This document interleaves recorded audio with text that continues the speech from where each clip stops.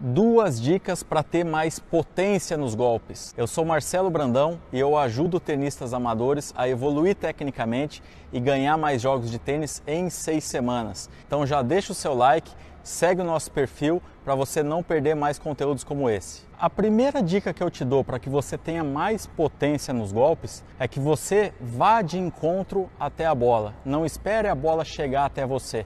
Então, quando a bola do meu adversário pinga um pouco mais curta na quadra, eu tenho que tentar ir até a bola para fazer esse contato com a bola um pouco mais cedo. Isso vai proporcionar que eu utilize o peso do meu corpo também para gerar um pouco mais de potência na bola.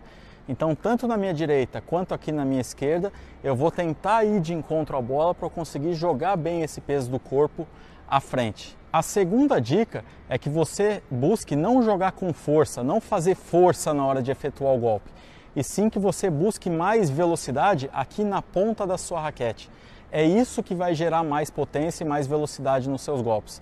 Então, tanto aqui no forehand quanto no backhand, eu vou buscar um pouco mais de aceleração na ponta da minha raquete, tanto aqui quanto aqui no meu backhand de uma mão, quanto no meu backhand de duas mãos, eu vou buscar mais velocidade na ponta da minha raquete.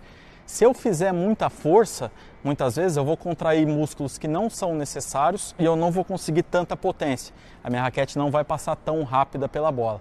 Então busque sempre fazer a ponta da raquete passar com velocidade na hora do contato com a bola.